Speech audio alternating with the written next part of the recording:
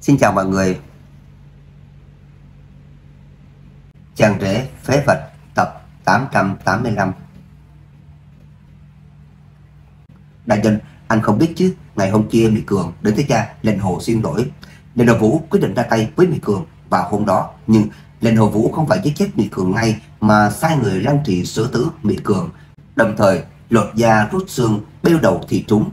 Người bất hồng nói ra Cái gì? Lê Minh ngạc nhiên Thi thể của Mỹ Cường bị cắt thành mấy nghìn mảnh, xương cốt bị rút ra, đưa cả da và đầu hoàn chỉnh về trước cửa thế gia huyết đao. Đầu của ông ta bị treo dưới biển hiệu của thế gia huyết đao. Thế gia lệnh hồ không cho phép thế gia huyết đao lấy đầu xuống. Người bắt đầu nói ra, thật ác độc là mình nhớ mày. Mặc dù anh biết thế gia lệnh hồ sẽ không bỏ qua cho thế gia huyết đao, nhưng anh không ngờ thú nào có bọn họ lại tàn nhẫn như vậy. Người thế gia huyết đao thế nào rồi? Là mình hỏi. Lúc này người bắt hồng lại im lặng. Chẳng lẽ Thế gia biết đau đi tìm thế gia lệnh hồ trả thù được sao? Lê Minh vừa hỏi. Tố Ngọc lại không hỏi thở dài. Đại nhân, nếu thật là vậy thì chúng tôi còn không phục người thế gia huyết đau chính trực nhưng bọn họ đâu dám làm như vậy. Bọn họ làm như thế nào? Bọn họ dùng xương thịt của Mỹ Cường cho chó ăn, dùng da đốt đèn trời, còn tuyên bố xóa tên Mỹ Cường ra khỏi gia phả, nói Mỹ Cường là kẻ phản bội thế gia huyết đau, từ đó lấy lòng thế gia lệnh hồ. Tố Ngọc nói ánh mắt lại chứa sự căm giận. Lâm Minh im lặng. Là mình biết vì sao thế gia huyết đao lại làm như vậy. Bọn họ muốn dùng chuyện này để lấy lòng thế gia lệnh hồ. Bọn họ nghĩ Mỹ Cường bị giết là vì lúc đến thế gia lệnh hồ xin lỗi đã đắc tội với đại hồ vũ cho nên không tiếc trừng phạt Mỹ Cường. Dù ông ta đã chết, thế gia huyết đao cũng sẽ dẫm nát xương ông ta. Tin tức này truyền ra Lâm cho Thành náo động. Ngay cả Long Trảo Thành cũng nổi cơn sóng gió. Không ai ngờ người thế gia huyết đao lại làm đến mức tuyệt tình như vậy. Đó là ông hai của thế giải quyết đao đó. Bây giờ bị Cường chỉ còn lại một cái đầu vẫn chưa bị xử lý. Nhưng đây cũng là vì người thế gia lệnh hồ không cho phép người thế gian huyết đau chạm vào cái đầu đó. Nếu không thì đến cả cái đầu mì Cường cũng không giữ nổi. Đám người miền ngạo suy nghĩ thật đơn giản. Lê Minh đặt tờ giấy lên bàn, bình tĩnh nói. Bọn họ còn gửi gắm hy vọng vào thế gia lệnh hồ. Hy vọng thế gia lệnh hồ mở lòng tự bi, bỏ qua cho bọn họ. Chỉ tiếc trong mắt thế gia lệnh hồ Bò chỉ là một đám sâu bọ đáng thương, vô giá trị. Những món đồ chơi nói giết là giết thôi. Tấu Ngọc mọi người Bích Hồng cũng không nói gì. Người trong cuộc u mê, người ngoài cuộc thanh tĩnh. Người ngoài đều nhìn thấy rõ ràng, nhưng mấy người bên phía miền ngạc lại không nhìn rõ vị trí của mình. Đúng rồi, bây giờ miền mọc ở đâu? Lê Minh vừa hỏi. Có miền mọc nghe được chuyện này tức giận đến mức nôn ra máu, muốn dẫn người đến thế gia huyết đau chỉ trích miền ngạo nhưng bị mọi người cản lại. Người Bích Hồng lên tiếng May là có, cô cầm kiếm ở bên khuyên bảo, Bây giờ tốt hơn nhiều rồi. Vậy thì được.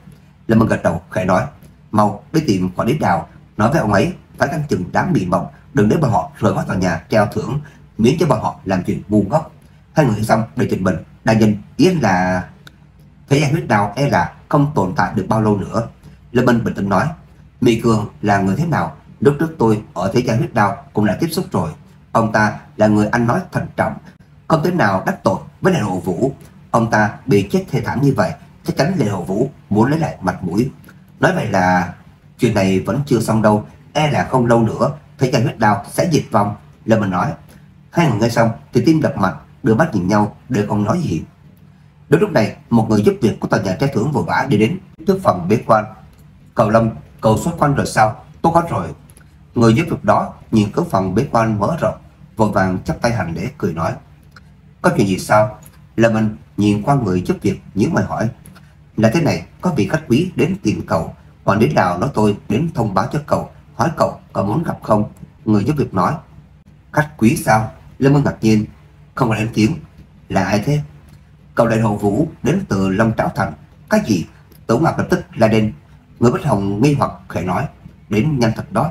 Đại nhân, nên hồ vũ không có ý tốt, không thể gặp. Không gặp sao? Vậy thì cũng không trốn được. Lâm Minh lặng lẽ gật đầu. Xem ra hắn đã hành động trước. Giải quyết thể giải huyết đau Thì cũng đến lúc dạ phải giải quyết luôn tôi rồi. Đại nhân, yên tâm, Không sao đâu. Đây là tòa nhà treo thưởng. Linh Hồ Vũ có chư căng ngạo mạn, Cũng không dám ra tay ở đây. Lâm Minh an ủi hai người mấy câu, Sau đó nói với người giúp việc. Hắn đang ở đâu? Phòng khách tầng 2 Vậy được đưa tôi đi một chuyến. Lâm Minh nói, mời anh đi bên này. Người giúp việc lập tức dẫn đường ở phía trước. Tố Ngọc và người Bích Hồng vội vàng đi theo. Không lâu sau là mình dẫn hai người đến phòng khách tầng 2. Lúc này Đào Thành cũng ở đây. Ông ta đang đứng bưng trà rót nước trước bàn trà, hành vi cử chỉ cực kỳ cung kính, gương mặt cười bồi giống như đang hầu hạ tổ tông. Là mình nhìn ra phía trước đào thành, ở đó có một người trẻ tuổi. Thanh niên này khoảng 26, 27 tuổi, với mặt hờ hững, trông vô cùng tuấn tú, khí chất hào hoa phong nhã. Bên cạnh hắn là một người con gái áo đỏ. Người con gái xinh đẹp quyến rũ, mắt hoa đào giống như có thể nắm bắt trái tim của bất cứ người đàn ông nào. Nhưng khuôn mặt cô ta cực kỳ lạnh lùng, giống như thờ ơ với tất cả. Phía sau bọn họ còn có vài cao thủ thế gia lệnh hồ, khi chết ai nấy cũng đáng sợ, khiến người khác không dám nhìn thẳng. Ồ, cậu Lâm đến rồi sao? Đào Thành nhìn thấy Lâm Minh đi vào thì lập tức hô lên, sau đó vội vàng nghênh đón cười hả nói ra. Cậu Lâm đến thật đúng lúc, đây là cầu Vũ của Long Trảo Thành, cậu ấy đến Long Tân Thành tìm cậu đó. Đào Thành vừa nói vừa giấy bắt ra hiệu cho Lâm Minh, tỏi anh hãy mau kỳ cách rời đi. Có lẽ Đào Thành không ngờ Lâm Minh lại dẫn đến đây. Sư cho cùng bị cường của thế gia huyết đau vừa mới chết thảm không lâu, người lại đến đây rõ ràng là để tìm anh tính sổ. Là mình vỗ vai Đào Thành nhưng không có vẻ hoảng sợ, bình tĩnh cười nói. Quản lý Đào khách sáo rồi. Sau đó thì đi thẳng về phía Lệnh Hồ Vũ. Lệnh Hồ Vũ đang uống trà. Lần mình đi tới, hắn còn không thể nhìn thẳng mà vẫn nhìn mãi tách trà, dường như đang ngắm nghĩ gì đó. Anh là Thầy Lâm sao? Nên là Vũ bình tĩnh lên tiếng, giống như đang nói chuyện với tách trà. Anh đang nói chuyện với tôi sao? Lâm Minh Minh ngang ngồi xuống pha trà, cơ chỉ thái độ vô cùng ung dung, to gan. Vài ca thủ thế gia lệnh hồ tức giận quát lên. Mày có thân phận gì mà xứng được ngồi trước mặt cậu chủ vũ chứ? Đứng dậy, quỳ xuống. Mọi người chỉ vào Lâm Minh quát mắng là bình nhíu mày, nhìn về phía người đó, lạnh hỏi. Còn mày là con chó hoang ở đâu ra mà dám nói chuyện với tao? Mày muốn chết. Người đó đối giật rút kiếm ra. Như là kiếm của gã vừa định ra khỏi vỏ, ngoài cửa đó có vài thú vệ thông vào. Ai nấy trừng mắt nhìn ca thủ thế gia lệnh hồ đằng đằng sát khí. cái từ đó lập tức cứng đờ người, thứ vô dụng, còn có bao trường tay. Nên đồng vũ quay sang nhìn ca thủ đó lại lùng nói. cái thủ đó bất đắc dĩ thu kiếm vào vỏ. Thế gia lệnh hồ thật kiêu căng, dám làm loạn ở tòa nhà treo thưởng. Chẳng lẽ người thấy gia đình hồ đã ngông cuồng tới mức phớt lờ các ca thủ ở tòa nhà treo thưởng hay sao? Là mình bình tĩnh nói. Vừa nói xong, Đà Thành hơi lúng túng nhưng trong mắt ông ta có vẻ không vui nhiều hơn. Người thấy gia đình hồ dám rút kiếm ngay trước mặt ông ta, đây rõ ràng là có thường sự tồn tại của ông ta. Với vai trò là quản lý của tòa nhà treo thưởng, sao Đà Thành không tức cho được chứ? Quản lý đạo đừng trách, thuộc hạ của tôi không hiểu chuyện, đợi lúc quay trở về tôi sẽ dạy dỗ thật tốt. Lê Long Vũ dường như như đã Đào Thành không vui, lập tức lên tiếng. Lê Long Vũ không phải là kẻ ngốc, sao thấy không nhận ra là mình cố tình chặt giận người thế gia đình hồ khiến thế gia đình hồ đối đầu với tòa nhà treo thưởng. Người thế gia đình hồ kiêu căng đã quen cho nên quên mất đây là đâu. Thấy Lê hồ Vũ nhún giường, bò cũng đành lén đỡ giận, không dám đổ mãn. Cầu Vũ, có chỉ là một quản lý nho nhỏ, nhiều việc không thể làm chủ, nhưng theo quy tắc của tòa nhà treo thưởng, nếu có sự ẩu đả ở đây, hậu quả e rằng cậu Vũ không muốn gánh chịu đâu. Đại Thành nói cứ mặt nghiêm túc, tôi biết. Nên Hồ Vũ mỉm cười, Đại Thành khách sáo thì khách sáo, công kính thì công kính, nhưng chuyện nên nói, việc nên làm vẫn không thể hàm hồ. Nên Hồ Vũ không muốn truy cứu chuyện này thêm, nhìn thẳng Lâm Minh nói ra, Thành Lâm đúng không? Ngày đó anh là người đã làm chú ba tôi bị thương, còn sĩ nhục ông ấy đúng không? Chú ba của anh là ai thế? Lên hồ kêu, hóa ra là ông ta. Nói đi, chuyện này anh đừng xử lý thế nào? Lên hồ vũ uống trà, công nhân không chậm hỏi ra. Giao người đi, thế nào? Là mình suy nghĩ một lúc rồi nói ra. Xem ra anh rất biết điều. Lên hồ vũ mỉm cười. Có sao, được thôi. Là mình lắc đầu, thả nhiên lên tiếng. Lên hồ kêu đâu, ông ta đang ở đâu, khi nào đưa tới? Lần trước thả ông ta đi, không ngờ ông ta còn bảo anh đến đây gây rắc rối cho tôi. Xem ra đời này tôi không thể tha cho ông ta được nữa. Nụ cười lên hồ vũ cứng đờ, nhíu mày.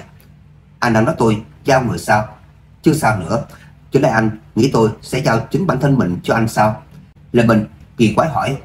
Lê Vũ nghe xong dân quá hóa cười. Ha, hay, thú vị, thật là thú vị đó. Ha. Người thấy gia đình Hồ nói dành gì Lâm Minh, chỉ muốn băm vằm xé xác Lâm Minh. đã Thành đầy vẻ lo lắng, ông ta im lặng một lúc cuối cùng ghé sát lại. Cậu Lâm, cậu nên nhìn một chút đi, đừng chơi cứng với người này. Cậu cúi đầu, tôi sẽ tìm cấp trên hòa giải. Có lẽ chuyện này còn cơ hội xoay chuyển. Ông nói tôi cúi đầu sao? Cậu Lâm đừng trách. Lê đồ Vũ nay đã khác xưa. Nói thật nếu là trước kia Tôn Giả Đạo Đích Thân tiếp đãi cậu ta, nhưng giờ thì khác. Cậu ta đã bái thương là võ thần và thái thiên võ thần làm thầy. là về truyền nhân duy nhất ở lòng mặt dưới lòng đất chúng tôi được hai vị võ thần đồng thời chí chạy. Tiền đồ của cậu ta không thể lường trước được. Bước vào hàng ngũ võ thần là chuyện chắc như đinh đóng cột. Cho dù là tòa nhà treo thưởng chúng tôi cũng dám đắc tội.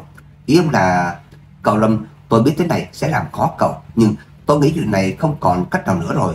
Thế này đi, cậu quỳ xuống dập đầu với cậu ta. Tôi sẽ nói vài câu hòa giải. Cậu có bảo bối gì có thể dâng ra được thì dâng ra. Tôi nghĩ nếu mà tòa nhà treo thưởng cậu Vũ sẽ nhượng bộ. Đà Thành lại khuyên nhủ. Lâm nghe xong có hơi tức cười nhưng anh không tức giận bởi vì anh biết Đào Thành muốn tốt cho anh. Đối lại là người thường, đây là cách tốt nhất. Đối diện với lệnh hồ vũ có chỗ dựa là hai võ thần, e là toàn bộ long mặt dưới lòng đất không ai có thể qua được hắn. Quản lý Đào, ông đang xì xầm gì với anh ta vậy? nếu là ông muốn khuyên anh ta sao? Tôi thấy không cần thiết nữa đâu. Ông không bảo vệ được người này nữa rồi. Nên đầu Vũ liếc nhìn Đào Thành cười hít mắt nói ra. Cầu Vũ... Đào Thành sốt ruột vẫn muốn khuyên tiếp nhưng nên đầu Vũ đã mất kiên nhẫn. Nên đầu Vũ giơ tay ra hiệu Đào Thành không cần nói nữa, sau đó thả nhiên lên tiếng. Quản lý Đào, ông ở đây cả quá trình cũng thấy tôi luôn nhấn lại nói chuyện với anh ta. Tiếc là anh ta quá cố chấp, không thể khuyên nổi, thậm chí còn dám sỉ nhục tôi. Ông nói xem tôi làm sao nhịn được đây. Cầu Vũ, xin xin hãy cho tôi nói chuyện thêm với cậu ấy. Đại Thành vội nói, không cần nữa. Lê Long Vũ lắc đầu nhìn chằm chằm Lâm Minh Bây giờ tôi chỉ cho anh ta một con đường để đi, cũng là cơ hội duy nhất tôi cho anh ta. Tôi muốn anh ta lập tức rời khỏi tòa nhà treo thưởng đi với tôi. Ngoài ra, tất cả người thấy chân huyết đau trong tòa nhà treo thưởng cũng phải đi cùng tôi. Có lẽ tôi còn cân nhắc giữ cho những người đó một mạng. Đương nhiên, tôi chỉ đồng ý giữ lại mạng cho họ, những thứ khác thì không. Nói xong, người thấy gian lệnh hồ cười cợt nhìn đám người lâm minh. Người ngoài không biết lời này là có ý gì, nhưng người thấy gian lệnh hồ thì biết giữ mạng thì được, nhưng e rằng trừ mạng ra thì không còn gì khác. Y võ thế gian lệnh hồ không tệ, y võ có lệnh hồ vũ còn cao cường hơn cả. Hắn thứ nhất là cất giữ não người, bằng thủ đoạn đặc biệt lấy não người đó ra, đặt trong một dụng cụ dùng thuốc nuôi dưỡng não không chết, tư duy vẫn còn nhưng ngoài não ra thì không còn gì tồn tại vậy cũng được xem là còn sống trong mắt lệ hồ vũ rất rõ ràng hắn định dùng cách này xử lý lâm minh, nhưng Lâm Minh không biết thủ đoạn tàn nhẫn của lệ hồ vũ. Đại thành cũng không biết, nhưng ông ta cũng nghe ra được nghĩa khác trong câu nói. Trong lúc chơi dự, Đại thành đi ánh mắt về phía Lâm Minh dường như muốn hỏi ý kiến của anh. Lâm Minh lại chậm chậm uống trà bình tĩnh nói. Chuyện có lệnh hồ vũ, thế gian lệnh hồ còn chưa cho tôi một lời giải thích. Giờ lại uy hiếp tôi xem ra các người không có tôi ra gì rồi. Coi mày ra gì sao? soi gương lại đi, mày cũng xứng sao? Một người thấy gia đình hồ cười nói Vậy thì tôi với các vị nói chuyện không hợp, các vị có thể về rồi. Lâm Bình tiếp tục pha trà, không ngẩng đầu lên, dường như không muốn nhìn đám người này. Anh chắc chứ. Nên đầu Vũ hiếp mắt cười hỏi. Tôi nói, khó hiểu lắm sao? Là mình hiếu kỳ hỏi, ha ha ha, vậy, vậy được. Nên Vũ cười lớn, đứng dậy chuẩn bị rời đi. Cầu Vũ... Đà Thành gọi lại nhưng có vẻ là Hồ Vũ không muốn dài dòng thêm nữa. Hắn mỉm cười nhìn Lâm Minh, sau đó lại nhìn về phía Đào Thành. Tiền phòng của tòa nhà treo thưởng cực kỳ đắt, thuê phòng phải trả tiền. Tôi nghĩ sớm muộn gì cũng có ngày anh ta tiêu hết tiền đúng không? Nên Vũ cười nói. đào Thành háo miệng không nói gì. Tiêu hết tiền thì đi kiếm, không được sao. Tố Ngọc ở phía sau không chịu được thái độ kiêu căng của Lê Vũ không khỏi bàn bác. Nhưng vừa nói xong, ông ta lại ý thức được chỗ không đúng. Kiếm sao? Hoan nghênh, hoan nghênh bất cứ lúc nào. Nên Vũ miếng cười đáp lại. Để sao các người đi đâu kiếm tiền?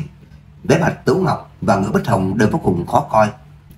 Nên Vũ chỉ kiên về tòa nhà treo thưởng, không dám ra tay trong tòa nhà, nhưng ra khỏi tòa nhà thì khác. Tôi không tin các người có thể trốn cả đời ở trong tòa nhà này. Ngoài trừ phòng khách, những khu vực khác đều không thể cho người ở. Sớm gì anh không phải ra khỏi tòa nhà. Khi ngày đó đến, anh sẽ phải hối hận vì lời nói và hành động ngày hôm nay, biết chưa? Nên đồng Vũ vỗ vai Lâm Minh, sau đó giữ nụ cười trên mặt đi ra khỏi cửa. Sắc mặt đám đông trông vô cùng khó coi. Không ai ngờ sự việc lại thành ra thế này. Đã Thành thở dài với vẻ bất lực, ông ta rất muốn nói gì đó nhưng lại không nói nên lời. Khi lệnh hồ vũ định rời đi thì Lâm Minh đột nhiên lên tiếng, đứng lại, hờ. Lệnh hồ vũ cau mày, quay lại nhìn. Anh yên tâm, tôi sẽ không ở đây cả đời đâu. Cùng lắm là vài ngày tôi sẽ ra, nhưng tôi nói cho anh biết, biết cái gì. lệnh hồ vũ hào hứng hỏi.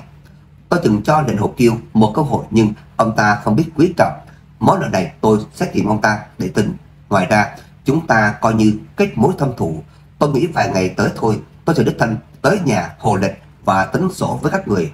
Lê Minh vừa uống trà vừa nói. Tống Ngọc, người Bích Hồng và Đạo Thành đều hoang mang. Đây chẳng phải là điếc không sợ súng sao. Ha ha, được, được, ha ha. Lê Vũ bật cười, người nhà họ cũng vui mừng. Chưa từng thấy ai điên cuồng như anh. thành Lâm, vậy tôi ở nhà đợi anh. Không đợi mất công, chạy tới Lâm Tâm Thành. Ha ha. Nên Đầu Vũ bật cười rồi quay người rời đi, là mình không nói thêm gì nữa. Đại Thành thở dài lắc đầu, đám người lên hồ Vũ ngây ngang rời đi, ai cũng cười đắc ý. Đúng lúc này, một bóng hình đột nhiên xuất hiện ở hành lang. Lên Đầu Vũ ngước nhìn, thấy người này đang bị thương mới khỏi. Hắn cũng ngạc nhiên nhiều, chỉ bước tiếp, nhưng lúc người phụ nữ bên cạnh bỗng giật mình, giống như nhìn thấy thứ gì đó không dám tin. Hả? Lên Đầu Vũ cau mày nhìn cô gái, cô ta đứng ngay ra đó. Người thanh niên băng bó này đi tới phòng của Đào Thành và cung kính hô lên, thầy ơi. Sau đó cánh cửa mở ra, người thanh niên bước vào. Cô sao thế? Lên Vũ hỏi ra, anh không nhận ra người đó là ai sao? Cô gái khẽ nói, bằng bỏ tới mức đó, sao nhận ra được chứ? Sao thế? Là người quen sao? Thôi, bỏ đi. Ý gì? Người đó họ Thương Lan, thì sao? Tên Phúc, cái gì? đã đông đơn người. Cô khẳng định không nhầm chứ? Đinh Hồ Vũ nói ra, không nhầm. Tôi từng ở Thương Nam Phú Đệ một thời gian, gặp qua Thương Nam Phúc, người vừa rồi chính là anh ta. Không thể nào, không phải anh ta đã bị Thương Nam Phó Thành nhốt trong tử lao rồi sao? Sao lại xuất hiện ở đây hơn nữa? Tôi nghe nói anh ta còn bị thằng kẻ phế vật rồi, mỗi ngày đều phải nếm đau khổ, sắp chết tới đâu rồi, sao còn ở đây chứ? Đây mới là vấn đề đó. Cô gái nói, anh ta tới phòng đó tìm ai vậy chứ? Hơn nữa, anh ta còn vừa gọi thầy sao? Lẽ nào những điều này không đáng để chúng ta phải suy nghĩ sao? Lẽ nào là tên họ Lâm đó sao? Đinh Hồng Vũ trầm giọng. Cô gái áo đỏ không nói gì nhưng đôi mắt ánh lên vẻ lo lắng. Đinh Hồng Vũ trao mày nhìn về hướng căn phòng đó và suy nghĩ. Cô nghĩ sao về người đó? Thầy Lâm á hả? Trước giờ cô nhìn người rất chuẩn mà. Nhưng lần này tôi không nhìn thấu được anh ta. Cô gái bằng môi khẽ nói. Hành động, suy nghĩ của người này đều hết sức khác thường hơn nữa khi tức cũng không đoán ra được. Vậy sao? Anh ta tự xưng là thầy Lâm Vậy còn y thuật thì sao? Chắc ừ, cũng chẳng tới đâu. Cô ta nhớ lại Lâm Minh và nói, mười ngón tay ta không hề sầm sùi, không có dấu hiệu dùng châm. Hơn nữa, cô không thấy có mùi thuốc. Tôi nghĩ thuật anh ta cũng bình thường, không đáng nhắc tới.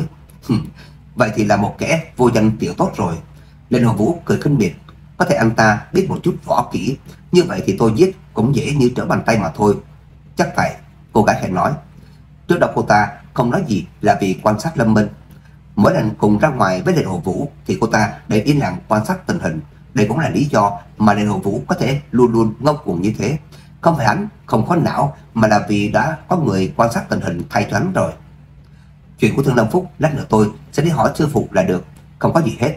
Nên là Vũ phất tay thản nhiên cười nói, đi thôi, giờ chúng ta đi đâu? Còn có thể đi đâu được chứ? Đã tới Lâm Tân Thành rồi thì sao có thể về dễ dàng như vậy được chứ?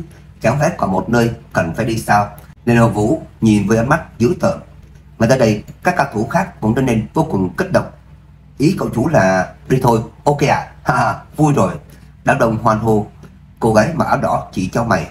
Cậu chủ, tôi không khỏe, không đi nữa. Được, vậy cô kiếm chỗ nghỉ ngơi, đợi làm xong việc thì tôi sẽ tới tìm cô. Được, cô gái gật đầu đi ra khỏi tòa nhà treo thưởng. Trong phòng làm việc, thế là rồi, đỡ hơn chút nào chưa? Lâm Minh nhìn Thương Nam Phúc bị băng bó giống như một cái bánh ú bèn cười nói. Thương Nam Phúc rưng rưng quỳ xuống đất khấu đầu. Cảm ơn ơn cứu mạng của sư phụ. Giọng nói anh ta nghẹn ngào, tâm trạng vô cùng kích động. Mau đứng dậy đi, anh đang làm gì vậy? Anh bị thương đó, đừng cử động nếu như ảnh hưởng tới vết thương thì rất tệ.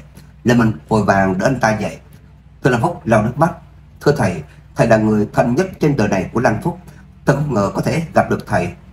Thưa Lan Phúc không thể ngờ có người cha nào mà hại con tới mức này không. Và đến cha con ta còn làm vậy thì anh ta còn hy vọng vào ai trên đời nữa chứ. Là mình có thể hiểu được tâm trạng của thưa Lâm Phúc. Anh vỗ vai. Đừng buồn nữa, mọi chuyện cũng qua rồi. Đợi tôi xong việc ở đây thì có thể đưa mọi người rời khỏi vùng đất thị phi này rồi. Dạ, đã độc gật đầu. Cho dù là Tử Ngọc, Ngữ Bích Hồng, Thương lan Phúc thì đều chẳng ai muốn ở đây một ngày nào cả. Mặc dù ở đây có rất nhiều linh khí thích hợp cho việc tu luyện thế nhưng bò không cần bất tử. Bò họ chỉ muốn sống đời bình yên, không còn bị đau khổ nữa.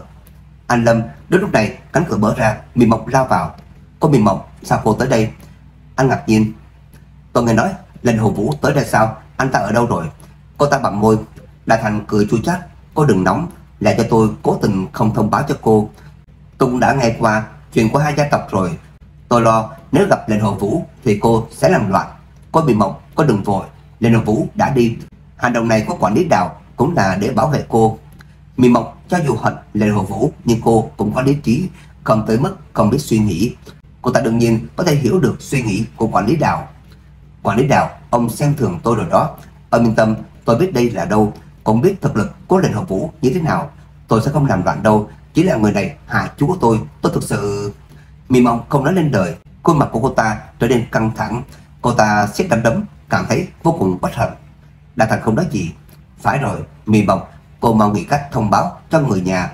Báo bọn họ mau chóng được khỏi thế gia huyết đau Nếu còn không đi thì sẽ muộn mất là mình đột nhiên lên tiếng Rời khỏi nơi đó sao Mì Mộng giật mình đột nhiên ý thức được điều gì đó Anh Lâm, ý anh là Đây là Vũ tàn nhẫn Hắn chém ra tay với chú của cô như vậy Thì hắn tới Lâm Thông Thành sẽ không chịu bỏ đi như thế này đâu Tôi nghĩ hắn đang để kế hoạch ra tay với thế gia huyết đao. Hắn chỉ dẫn theo mười mấy người, sao có thể làm gì được thế gia huyết đao chứ? Cô ta nói. Mặc dù cô đã mang một bộ phận người nhà huyết đao rời đi, nhưng trước mắt vẫn còn cả hàng trăm người. Cho dù không có bà tổ, thì việc đối phó với Lệ Vũ cũng không phải là điều khó khăn với lớp người trẻ của thầy giáo huyết đao. Không đợi Lâm Minh giải thích thì là thành đã lên tiếng. Cô mộng miệng, cô mà nghĩ như vậy thì nhầm lớn rồi. Quả đến nào, ý ông là Tôi chỉ muốn nói với cô rằng bây giờ lệnh hồ vũ đã không còn như trước nữa.